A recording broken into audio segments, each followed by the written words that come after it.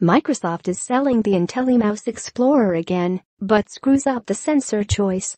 Few computer peripherals are as venerable as Microsoft's IntelliMouse Explorer, an old series of office mice so well-rounded they were once one of the most popular choices for professional gamers. Now Microsoft has brought it back to life with the new IntelliMouse Classic, making my nerdy heart skip a beat. It's available from the Microsoft Store now for $40 bucks. Too bad it seems the company didn't give it any gaming chops at all. The mouse is basically a modernized version of the IntelliMouse 3.0 except now in a sleek gunmetal and black look, with a similar shape and customizable buttons.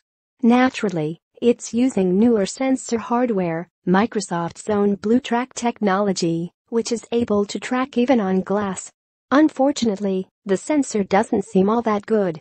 Though the 1000 Hz polling rate was mildly encouraging, BlueTrack sensors have been consistently bad performers for gaming, and the 40 inch per second was disheartening. We haven't used it ourselves, but early reports seem to confirm the mouse isn't viable for serious gaming at all. Shame.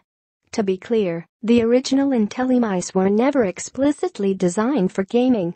It just happened to be a really good office mouse series that was among the first to use a scroll wheel and optical sensor. That sensor happened to have a lot of technical properties gamers look for, like a lack of smoothing or angle snapping.